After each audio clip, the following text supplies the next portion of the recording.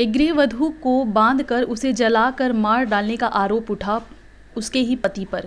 यह घटना मालदा के मोथाबाड़ी थाना इलाके के जीतनगर गाँव में घटी। घटना के बाद से आरोपी पति सहित ससुराल के सभी लोग फरार बताए जा रहे हैं। मोथाबाड़ी थाने की पुलिस सभी की तलाश में जुटी हुई है। मिली जानकारी के अनुसार 29 वर्षीय सेफाली मंडल नामक मृत महिला की शादी आठ वर्ष पहले पिंटू मंडल से हुई थी। पिंटू पेशे से मजदूरी करता है। कई बार पिंटू व सेफाली का बच्चे की मौत हो जाने के कारण ससुराल वाले इससे काफ़ी खफा थे और सेफाली को हमेशा ताना मारा करते थे। इसी बात से तंग आकर ससुराल वालों ने सेफाली को मौत के घाट उतार दिया।